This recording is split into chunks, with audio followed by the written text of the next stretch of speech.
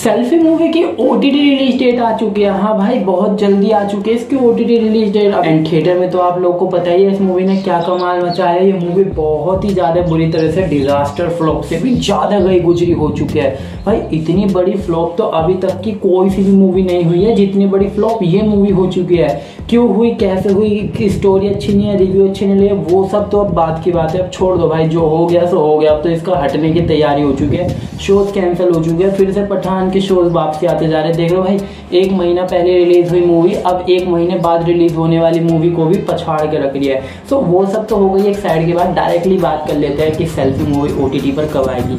तो भाई, सबसे पहले तो मैं आपको बता दूँ, ये है एक बॉलीवुड की मूवी एंड बॉलीवुड की मूवी को डजेंट मैटर फ़र्क नहीं पड़ता कि वो हिट होएगी या फ्लॉप होएगी, लेकिन भाई उसका कॉन्ट्रैक्ट हो जाता है ओटीटी डील के साथ दो महीने के विंडो टाइम के बाद। तो भाई इस मूवी का भी दो महीने का विंडो टाइम है एंड जैसे ही ये विंडो टाइम खत्म होगा, ये मूवी हैंड टू हैंड आपको ओटीटी पर देखने को मिल जाएगी।